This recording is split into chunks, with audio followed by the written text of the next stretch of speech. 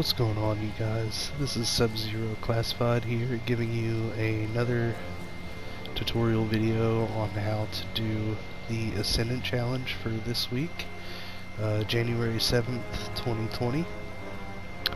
Um, what you're going to want to do is uh, go to Dreaming City and go ahead and pick up your bounty from Petra and you'll want to go to the fast travel location here.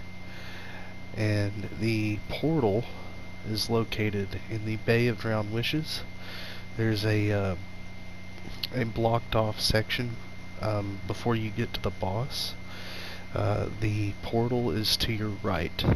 You will see it it's up in the air um, but this uh, this challenge is relatively simple um, you need to be making your way down to that platform.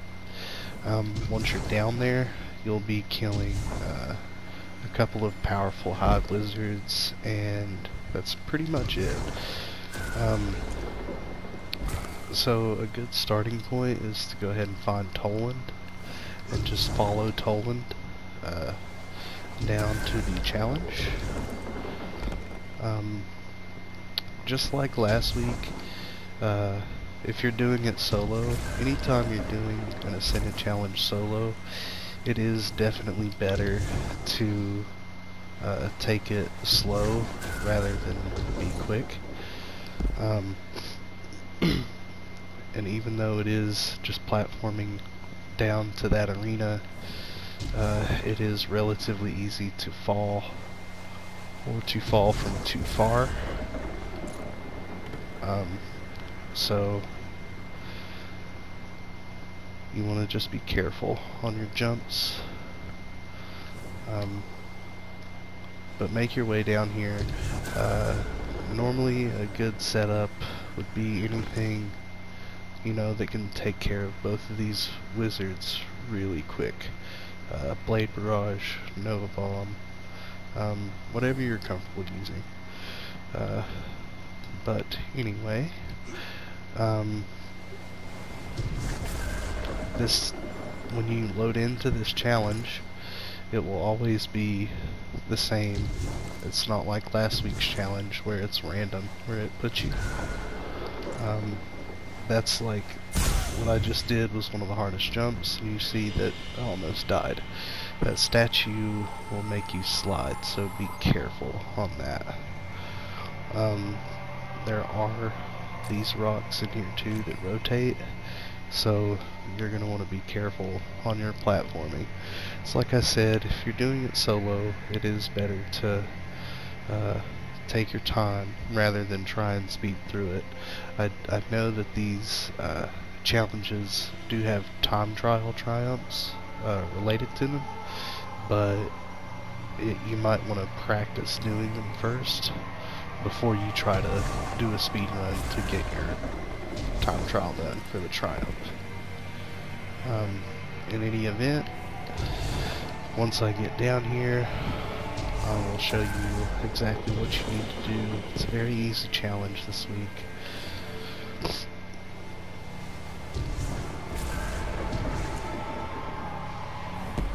Weapon set.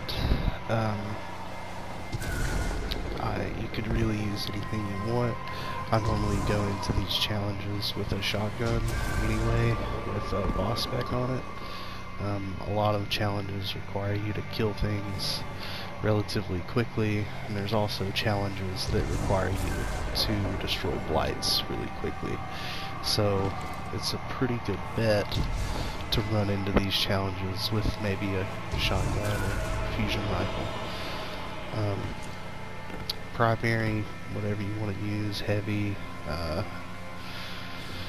I would recommend whatever you're comfortable with. Sometimes it's better to run into these things with a sword, but once you're here, you'll see that they will spawn in once you've uh, reached this part.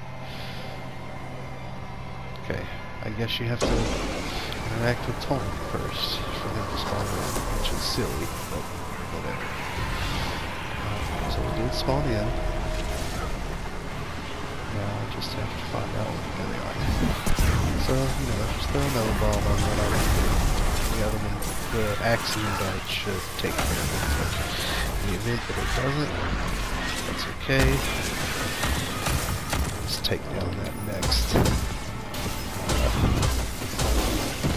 Wizard as quickly as you can. And then we're done. That's it. So that is the guide for doing it solo for this week.